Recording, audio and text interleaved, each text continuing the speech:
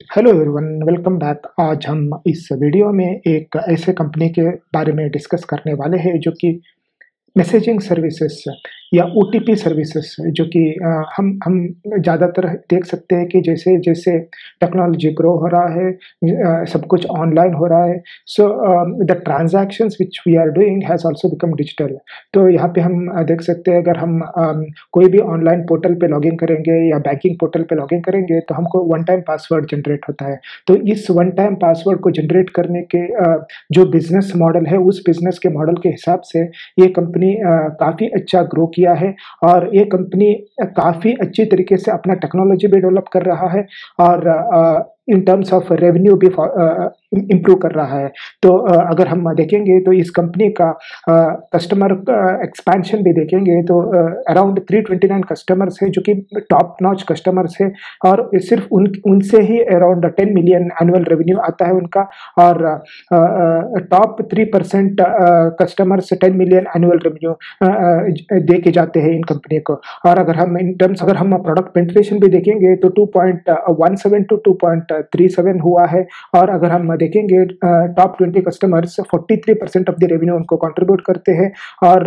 Five hundred million तो average annual revenue growth इनको देख सकते हैं क्वार्टर ऑन क्वार्टर बेसिस पे। और अगर हम देखेंगे तो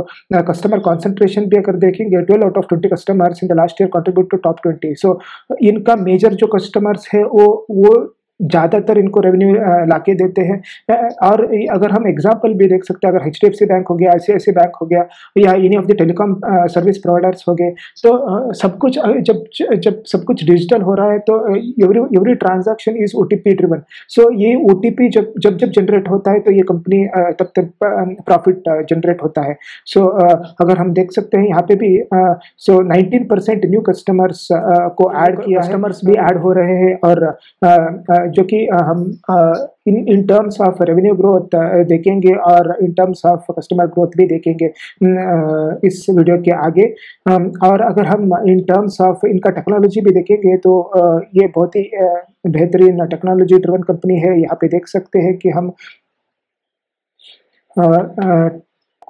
जन ए यूज़ हो रहा है across all its platform so gen A I जब जैसे जैसे यूज़ uh, होता जाएगा और जैसे जैसे टेक्नोलॉजी इम्प्रूव uh, होता जाएगा तो मालवेयर uh, या मलेशियस वेयर या जो कि हैकर्स होते हैं उनको उनको उनसे विजिलेंट रहने के लिए टेक्नोलॉजी को उनको अपग्रेड करना पड़ेगा। तो यहाँ पे देख सकते हैं कि स्कैम आइडेंटिफिकेशन जो कि ए और machine learning led engineers engineering इसके हिसाब से वो स्कैम आइडेंटिफाई करने के भी टेक्नोलॉजी डेवलप कर रहे हैं। तो ट्रस्ट ज़्यादा बढ़ेगा इस कंपनी के ऊपर उसका क्लाइंट्स को और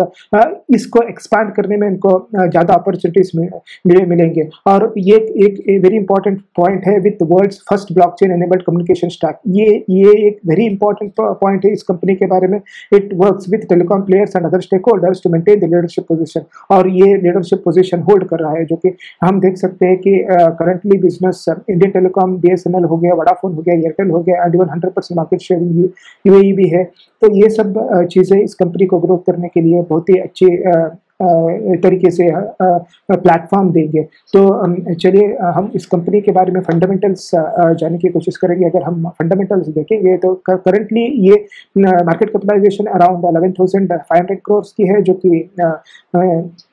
मिड कैप रेंज में हम बोल सकते हैं स्मॉल कैप या मिड कैप रेंज में बोल सकते हैं। और अगर हम इन टर्म्स ऑफ़ डेप्टी इक्विटी देखेंगे तो ज़ीरो पॉइंट ज़ीरो फोर है और stock P around twenty one है। अगर हम इन टर्म्स ऑफ़ इनका stock P average stock P देखेंगे ट्वेंटी एट है। अगर हम last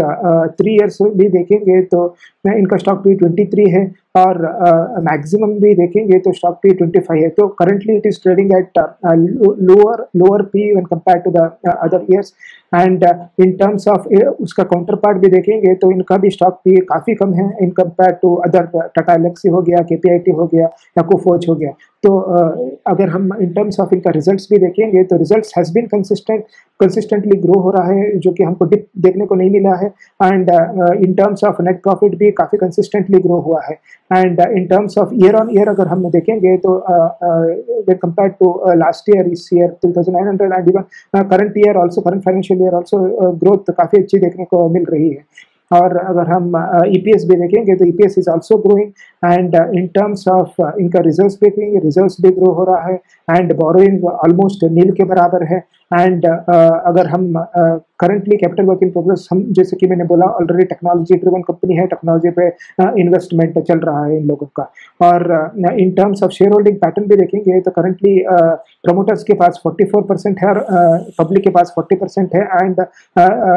even F I S and D थोड़ा बहुत इंक्रीज किए हैं इस क्वार्टर में। तो ये सभी फैक्टर्स खुद कंसिडर करते हुए ये कंपनी काफ़ी अच्छी के तरीके से ग्रो करने की चांसेस रख सकती है। तनला प्लेटफॉर्म की टेक्निकल चार्ट देखेंगे तो यहाँ पे देख सकते हैं कि करंटली उसका ऑल टाइम हाई बना हुआ था अराउंड 2000 पे।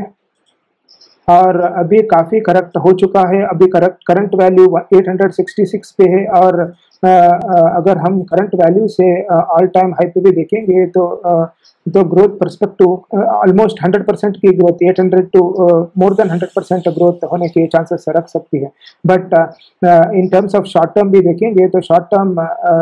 गेन भी अच्छी तरीके से uh, बन सकता है। अगर हम uh, यहाँ पे देख सकते हैं कि तो यहाँ पे एक ग्रीन कैंडल बना हुआ है और इस ग्रीन कैंडल के हिसाब से शॉर्ट टर्म गेन अगर हम ट्राई uh, करेंगे तो यहाँ पे भी एक ट्वेंटी परसेंट गेन देखने को मिल सकती है around one thousand one hundred twelve level तक। सो